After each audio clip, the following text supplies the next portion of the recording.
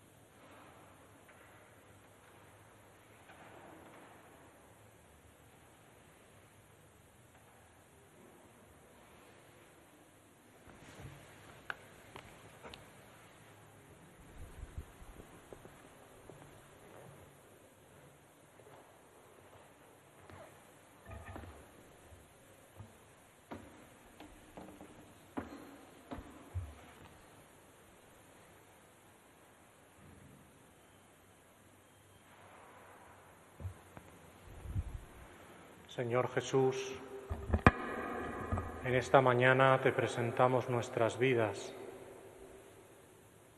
Quieren ser vidas entregadas, vidas compartidas, vidas donadas para los demás.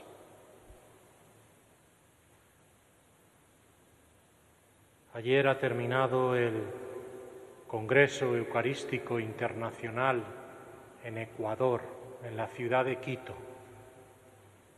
Allí se ha reflexionado sobre la Eucaristía, se ha vivido la Eucaristía, se ha adorado la Eucaristía.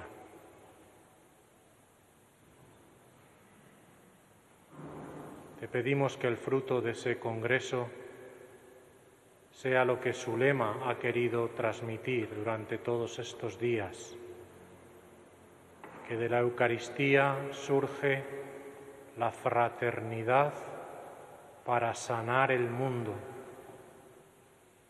porque de la Eucaristía nace la fuerza de la unidad, de la fraternidad, de la comunión, del compartir, de la solidaridad. Y eso es lo único que puede sanar tantas heridas de soledad, de sinsentido, de injusticia, de violencia que hay en nuestro mundo.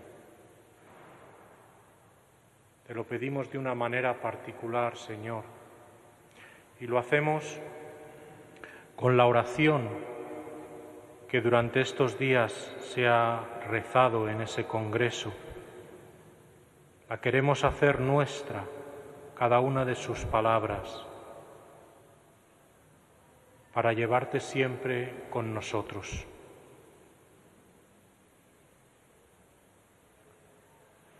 Señor Jesucristo,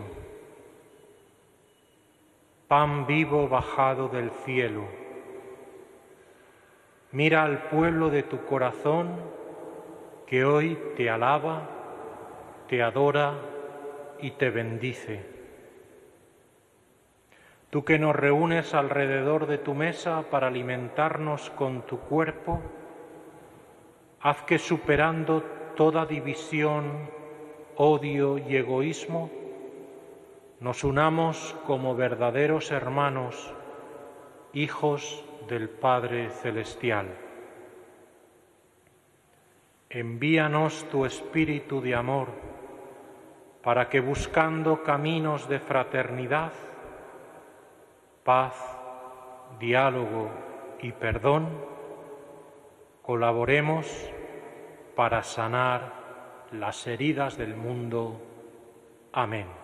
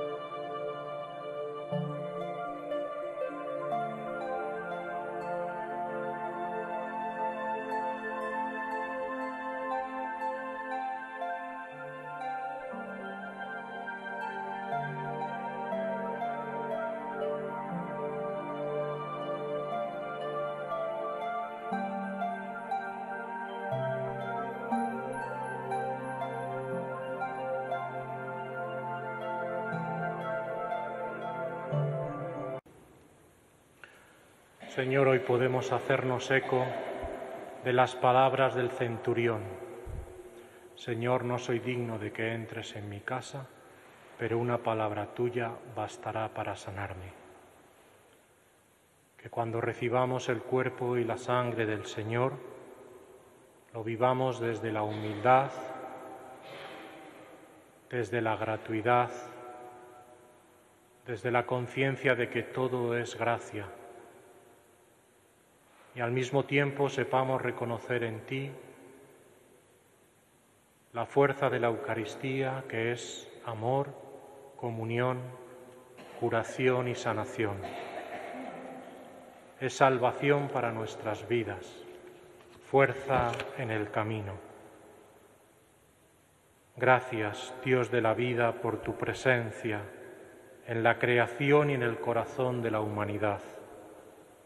Gracias, Señor de la historia, por llamar a María mujer sencilla y abierta a tu voz y voluntad. Gracias, Dios de amor, por hacerte uno de nosotros, pequeño, pobre y necesitado, por confiar cada día en nosotros.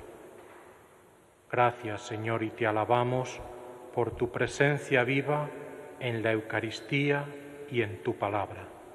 Llénanos siempre de ti.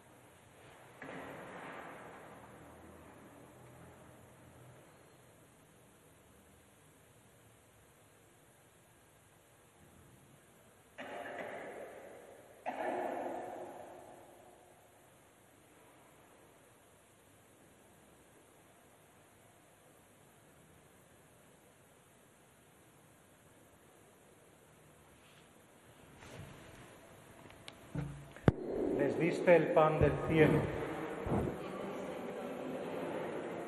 Oh Dios, que en este sacramento admirable nos dejaste el memorial de tu pasión. Te pedimos que nos concedas venerar de tal modo los sagrados misterios de tu cuerpo y de tu sangre que experimentemos constantemente en nosotros el fruto de tu redención. Tú que vives y reinas por los siglos de los siglos.